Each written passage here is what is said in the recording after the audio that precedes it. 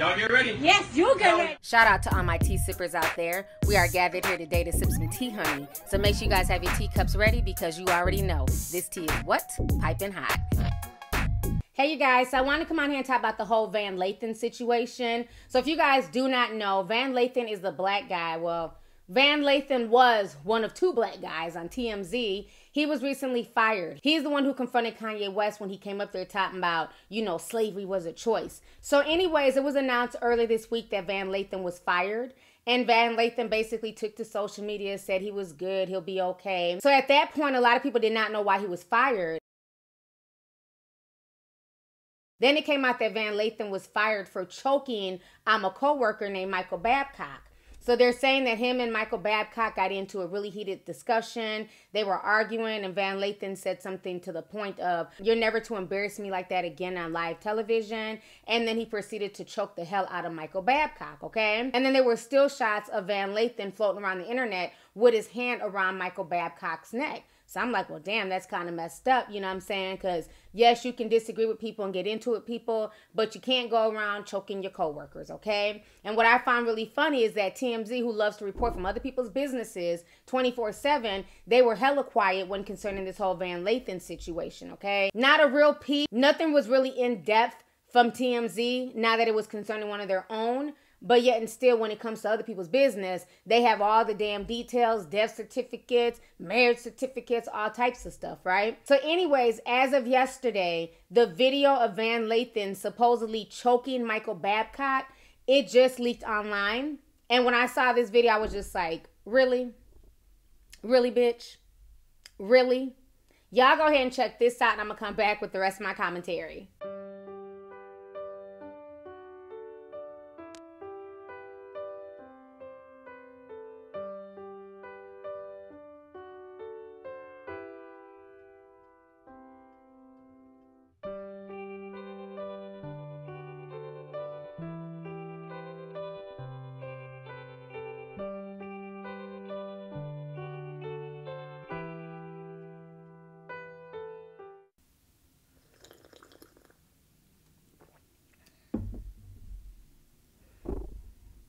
Really, Michael Babcock? Your weak ass was really threatened and, and upset about that? Why did the news reports, when this first came out, I really thought Van Lathan was choking this dude, like how Homer Simpson be choking Bart. Why you little? That's what I was damn expecting. Why you little?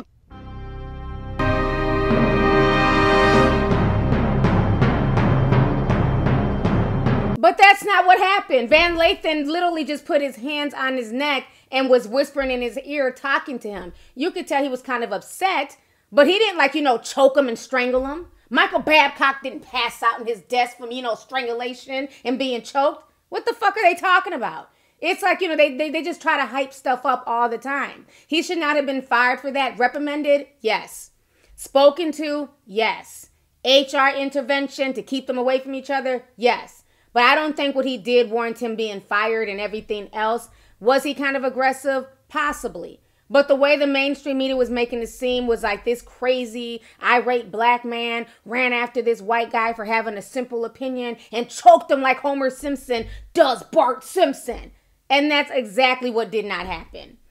So I'm gonna need the mainstream media to sit the fuck down on this one, okay? And I find it really funny, like I said, how TMZ is so quiet about this situation concerning two of their own employees. When it comes to everybody else's business, honey, they're the first ones they're reporting live from everybody else's shit. Okay, so this entire situation is a hot damn mess. I'm sorry you were fired, Van Lathan, but one thing I will say is this what I've learned in life is that when one door closes, another one shall open. And maybe this is what you needed to get off your ass Get off of TMZ because you're obviously a very conscious brother. He has a podcast called The Red Pill or something like that. You know, you're obviously a little bit too conscious, a little bit too aware for TMZ. But I understand, you know, that's a big platform. People know you because of TMZ. But I think maybe this firing, okay, may be a blessing in disguise because now you can go and work for yourself you already have the industry connections. You know a lot of celebrities. You know a lot of people in the industry. So now you can bring them on your own platform and interview them and, you know, talk to them and, and things like that.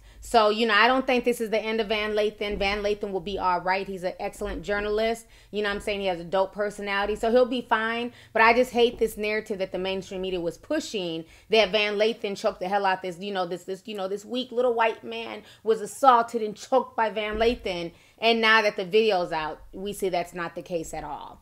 So, anyways, y'all, let's go ahead and get the discussion popping. Go ahead and leave a comment. Let me know your thoughts on this entire crazy situation, honey, concerning Van Lathan's video finally leaking online and basically the video being a dud because everything was hyped up to be, it damn sure wasn't, okay? I was thinking he not only choked him till he passed out, he stomped on his damn forehead or some shit. But none of that happened, thank God. But I just don't like the way that the media try to hype it up like that's what damn happened. So, anyways, y'all, if you're new here, don't forget to hit the subscribe button. Make sure you hit the thumbs up. And most importantly, don't forget to hit that notification bell. So that way you can be down with the notification squad, honey. So let's go ahead and get the discussion popping. Go ahead and leave a comment. All right. Deuces.